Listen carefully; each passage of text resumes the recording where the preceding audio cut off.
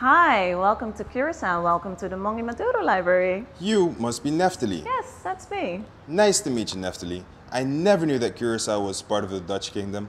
Yes, and it has been for over 300 years. Come in. What a beautiful building. What's the story here? The building we're standing in is Plantation House Rooi Catootje. It was built around 1735. And do you see that lady over there? Let me show you. This is Ina Dankmeijer Maduro. And in 1974, she, her mother, and her husband founded the Mongui Maduro Foundation in honor of her deceased father. Wow, okay. That's more than 45 years ago. But what kind of foundation are we talking about? Well, in 1905, Ina's father took up a new hobby. He started collecting books, newspaper articles, and other documents on the island's historical literature and Jewish history. And well, over the years, his hobby grew into quite a collection. So, are you saying that this collection started over 100 years ago? Yes, and it's still growing. I still don't quite understand what the foundation is for. Well, Ina's father wanted his collection to be used and shared, and that's also one of the goals of the foundation. So, the foundation was established to make sure as many as people as possible have access to this collection? Exactly. And how did it come to this? Over the years, uh, the collection grew into a source of information on the history of the Sephardic Jews of Curacao. And people come here to do research on those specific subjects? Yes, they come here from all over the world. And upon request, our librarians can send information by email. So, can I see the collection here in this building? No, not here. I don't understand. Please explain. Ina wanted to preserve the collection and make it more accessible for researchers. So, at the age of 87, she commissioned two architects, Leongo Juliana and Kees den Heijer, to design a building that would integrate with the natural surroundings and with the plantation house. Wow, a hidden treasure. Absolutely. Can we go in? I can't wait to see what the library has to offer. Of course.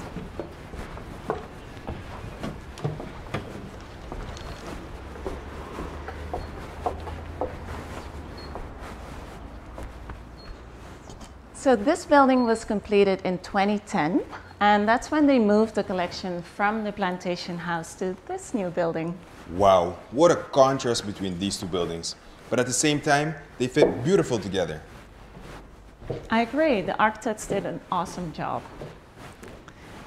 I'm taking you to our reference room, which is where most visitors enter the library and also where they get to ask all the questions that they have. And who is this young lady? This is Nicole, one of our librarians. Nice to meet you, Nicole. Quite a building you work in. Thank you. Besides the social cultural history of the Sephardic Jews of Curacao, this library also holds topics on the social cultural history of the island of Curacao. The focus points are art, literature, and Papiamento, our local language. So, how many books can I take home to study? Well, since this is a reference library, you don't get to take any books. But you can come here to read and study, and upon request, scans can be made. So, visitors need to come here in person? Not entirely. We have on site and online visitors, mostly researchers, but also writers and individuals looking into their family history. Can you show me some books?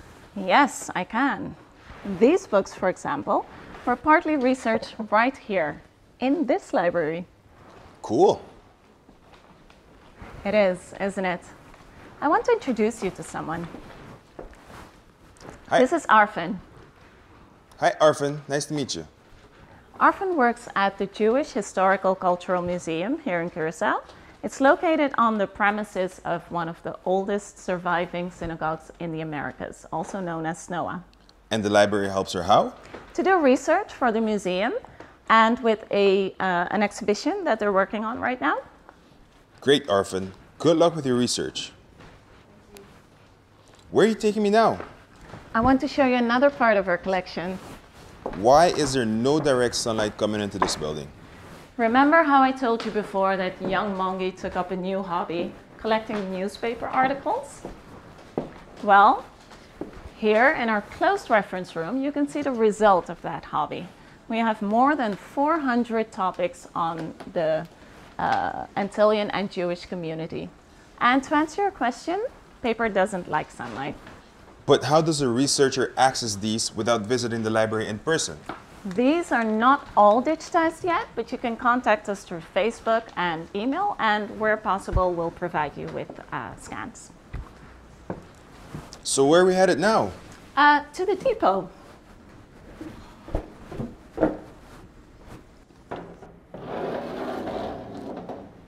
This is where the heart of our collection is safeguarded. The humidity and the temperature are fully controlled to make sure that this material is maintained in the best conditions possible. Is that really necessary?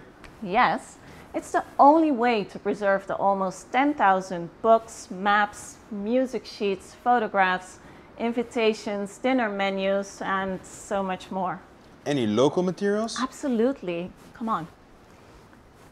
So, we also hold collections of renowned local authors such as Pierre Lauffer and Luis Daal. They played a very important role in developing Papiamento, our local language, one of the pillars of Curaçao's cultural identity. Do you have a favorite item here in the depot? I'm so glad you asked. I've asked Leon to help me with this. Hi, Leanne. Hi, Leanne. Leanne is the documentalist of our cultural heritage collection, and she's also custodian of the archives of the Curacao Synagogue. What is that? This is a ketubah. A ketu what? A ketubah is a marriage contract in Jewish civil law. And this one is unique because it was written in Rashi script, a form of Hebrew writing. It's a Sephardic semi-cursive way of writing, and this one is from 1832. Why is this your favorite piece? Well, are you kidding me? Look at the delicate ornaments, the writing, and it's so old. It's beautiful. Yeah, I can imagine you liking it. I really don't like saying this, but my time is up. Already? There's so much more to see. I'll definitely come back. You're very welcome to come back.